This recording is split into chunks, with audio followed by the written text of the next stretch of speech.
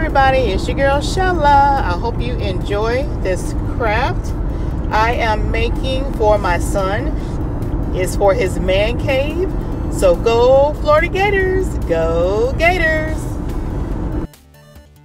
All right, so we have our wood finish that I've already done the board.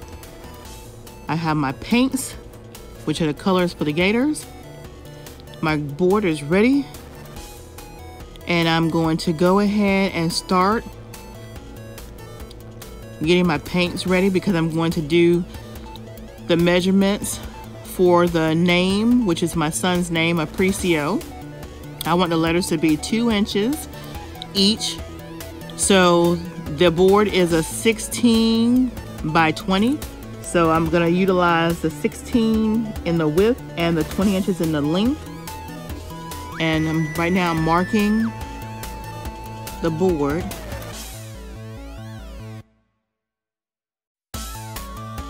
And these are the paint brushes I'm going to be using so let's get started. And I am going to freehand the letters. I have no patterns. So I'm going to just freehand the letters.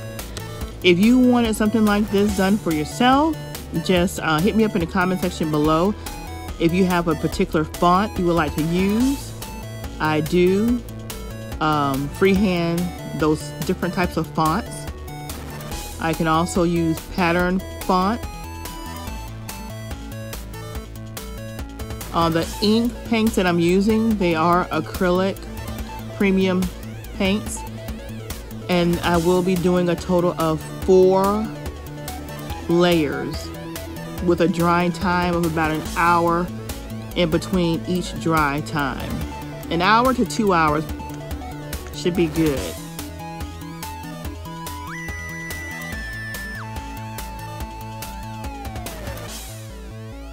And then you'll also see me doing touch-ups as well as I'm doing this project. The background is going to be in the orange.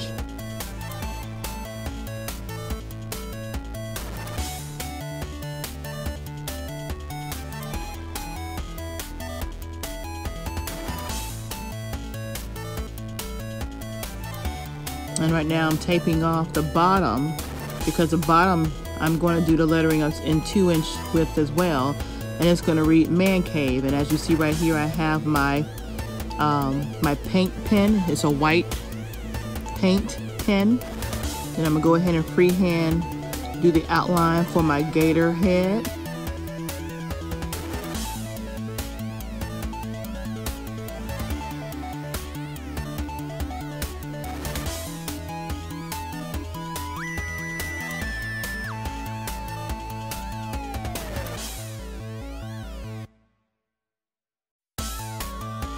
Now everything's gonna be outlined in white and I'll start doing the colors as per the um, the gator head.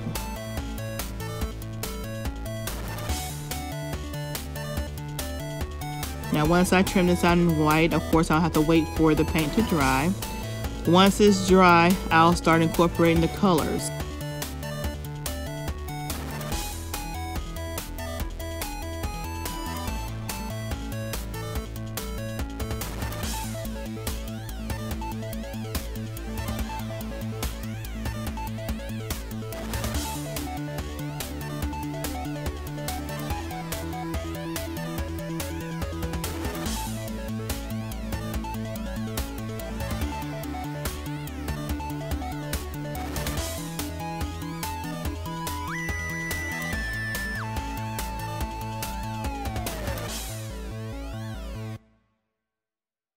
Okay, now I'm doing my next layer of the blue on the paints.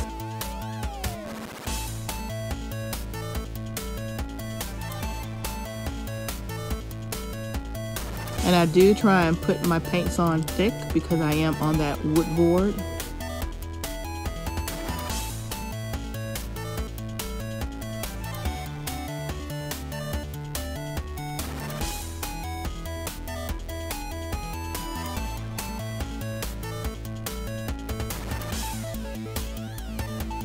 Some of the touch-ups I'll do off camera, but majority of everything that I paint, it will be uh, recorded.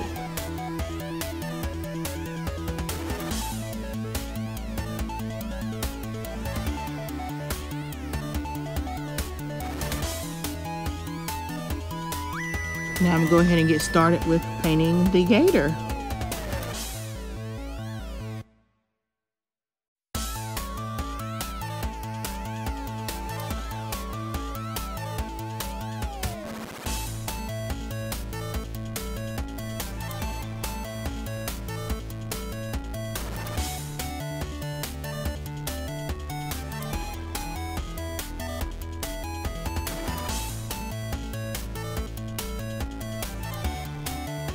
Again, all the colors are going to get four layers.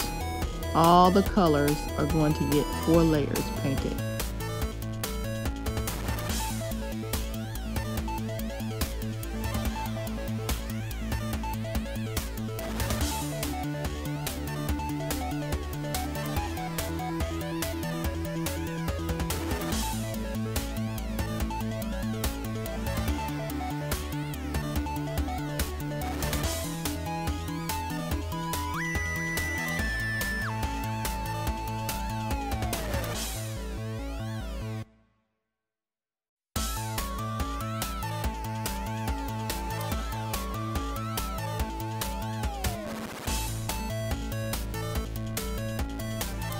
Again, if you haven't subscribed to my channel, go ahead and hit that red button and make it turn gray today. I will be doing different types of crafts on this channel as well. And I may incorporate some in my other channel, which is Shella Creations Way.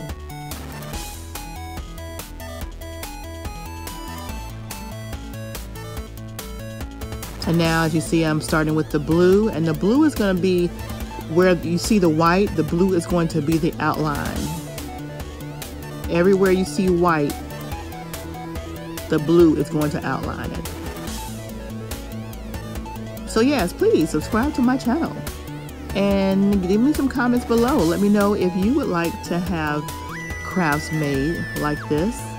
I do have the boards. The boards are three quarter inch thick, a half inch inch thick as well. This particular board right here is three quarter inch thick and the other boards I do is a half inch thick. Our boards measure 16 by 20 and also 16 by 16.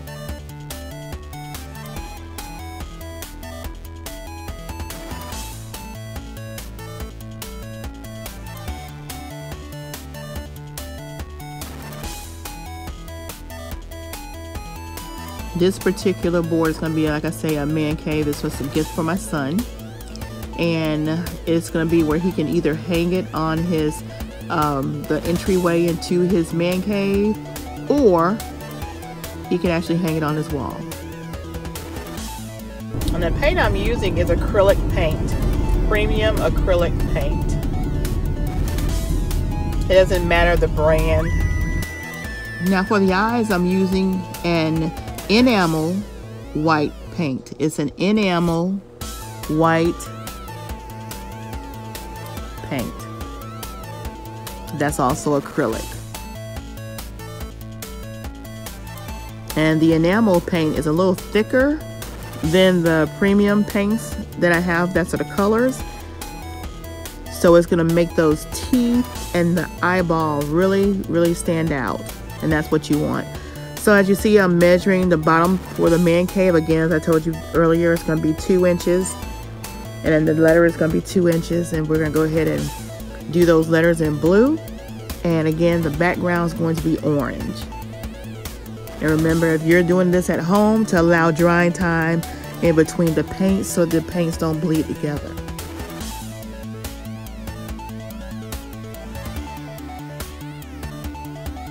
And again, you can always use the fonts or you can freehand as I'm doing here. If you want me to do a project for you and you have a particular font, um, just list a font and I will do the font that you request.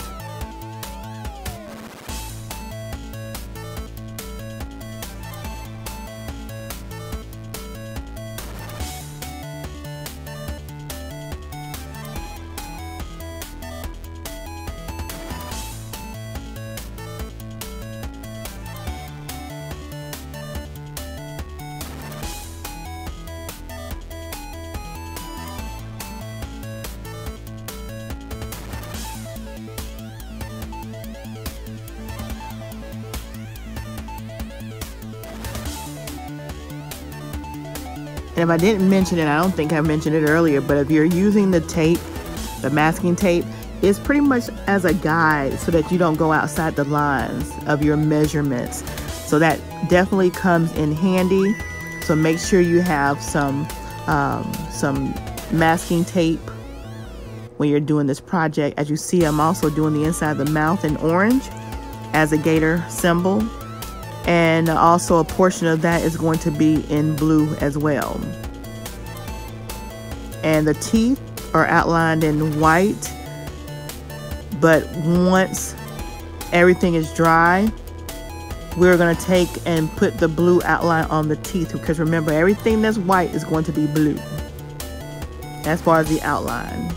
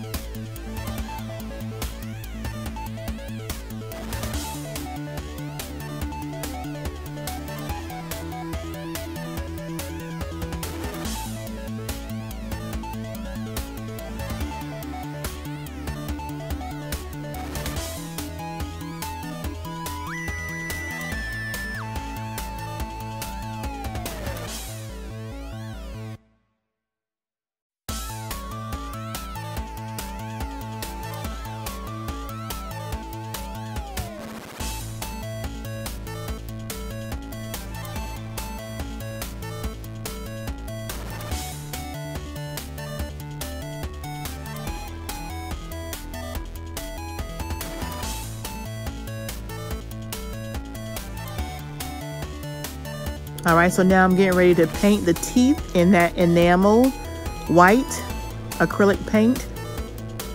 And I'm gonna put it on really thick because you want it to really stand out.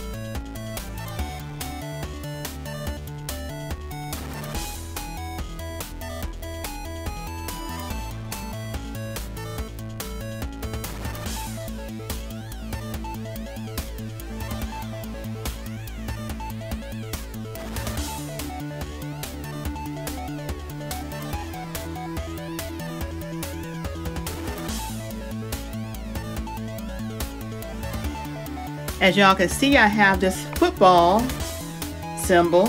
And with the football, um, I've already stuffed it and put the stuffed it and sealed it inside with the wood glue. I'm going to do the Gators word in orange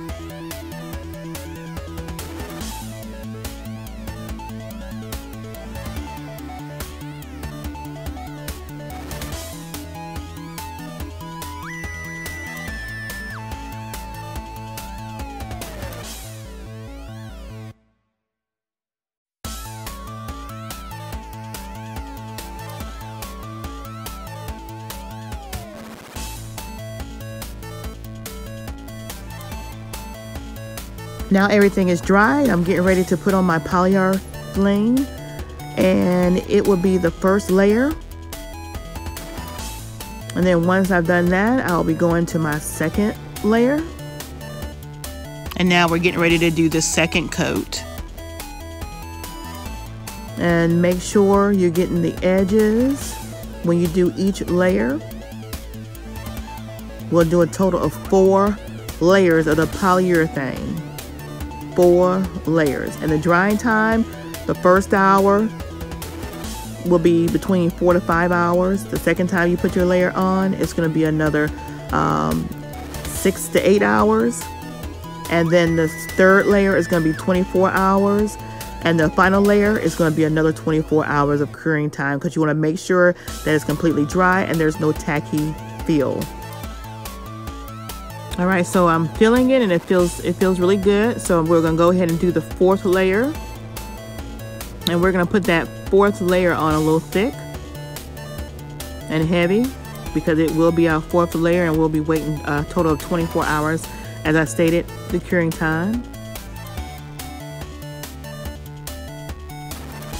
Now that's all dry, we're gonna turn it over and utilize our liquid nails on the backboard, I've already cut out pieces of felt that I had just in the house from other past crafts. And I'm taking that liquid nail and I'm gonna make sure I'm spreading it out evenly on the backboard and taking it to the edges.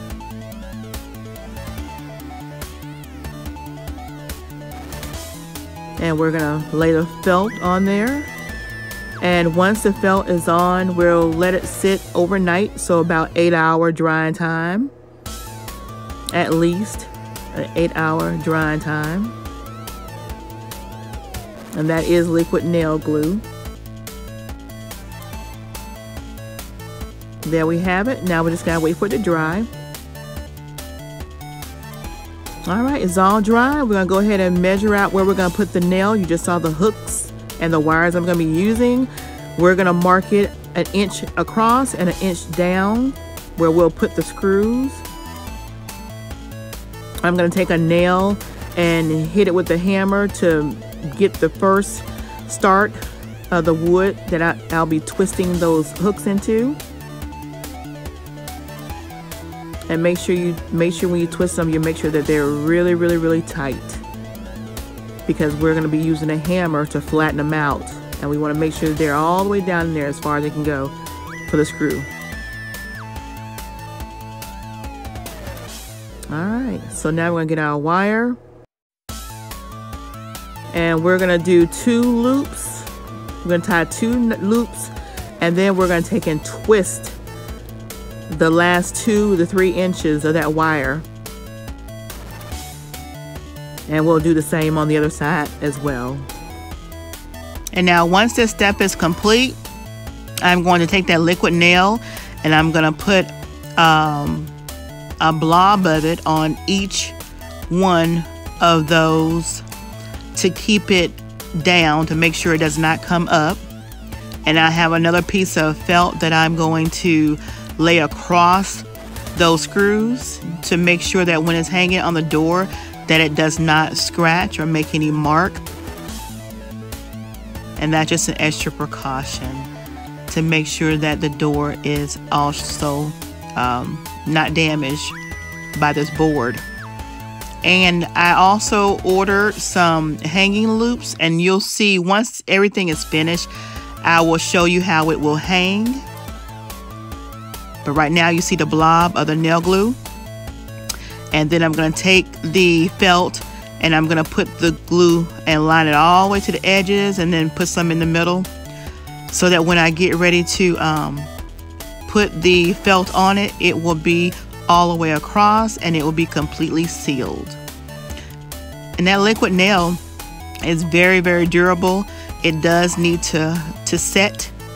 So I will um, wait about another eight hours before I move forward with this.